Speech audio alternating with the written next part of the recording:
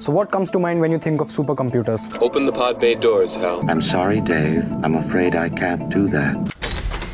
So these are state-of-the-art quantum processors. Oh, oh, oh, A supercomputer, as the name suggests, is a jacked up version of a personal computer used for tasks deemed too complicated for a normal PC to handle. Think quantum mechanics, weather forecasting, climate research, oil and gas exploration, molecular modeling, space exploration, tracing missile trajectories, detonation of nuclear weapons, and so on.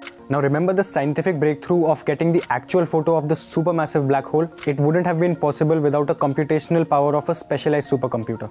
Now while a personal computer works on a single processor, a supercomputer uses multiple processors at the same time. Think hundreds or maybe thousands of computers joining forces to compute parallelly. Take the latest Intel Core i9 Extreme Edition processor designed for desktop computers. It has 18 cores and is capable of 1 trillion floating operations per second. That is as fast as a supercomputer from 1998. Modern supercomputers also use similar chips. Just instead of a few chips, they use tens of thousands of chips at the same time. In short, what distinguishes a supercomputer is basically its scale. Today's fastest supercomputer, Summit, uses 36,000 onboard processors and can perform 200 quadrillion calculations per second. What a normal computer will do in 30 years, the Summit can do in 1 hour. But the Summit is no lightweight. It takes up as much space as two full basketball courts and uses 200 miles of cable. Its cooling system uses 4000 gallons of water per minute and consumes enough power to run 8000 homes.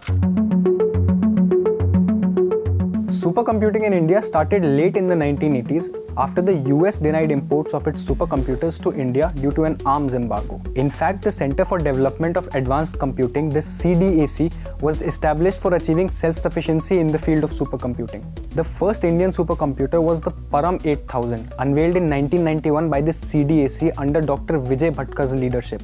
It had 64 CPUs. In 2015, India launched the National Supercomputing Mission with an aim to install 70 supercomputers across the country. It is a 4,500 crore rupees 7 year long program. However, only 10% of its total budget was released till 2018. Even experts have said that limited funding is the biggest crutch for the technology in India. The Ministry of Earth Sciences, however, has announced a 1500 crore rupees investment on two supercomputers, which will take the total number of supercomputers in India India to 13. Now currently India possesses only 11 supercomputers.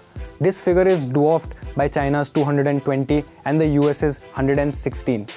The China-US race to become a supercomputing superpower is fueled by billions of dollars worth of investment towards infrastructure and human resource. While India has about 280,000 people working in supercomputing, China has roughly 1.7 million people and the US employs 1.3 million people in supercomputing.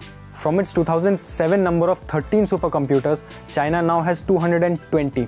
Its unwavering focus on supercomputing that started as early as 2002 has enabled it to envision and enforce an AI-enabled future powering massive surveillance operation and countrywide resource management programs. All of China's supercomputer also feature in this year's top 500 list of supercomputers of the world. India, despite being in the supercomputer race for three decades, can boast of only three supercomputers in the list. In a vast country like India, with a rapidly growing online population, supercomputing holds the key to resolve several of the country's persistent problems. From weather and climate mapping to aid the majority of population engaged in agriculture to backing its ambition to install pan-India facial recognition systems, supercomputing is the way forward for India. It will help foster research in medicine, gene editing, and even space exploration.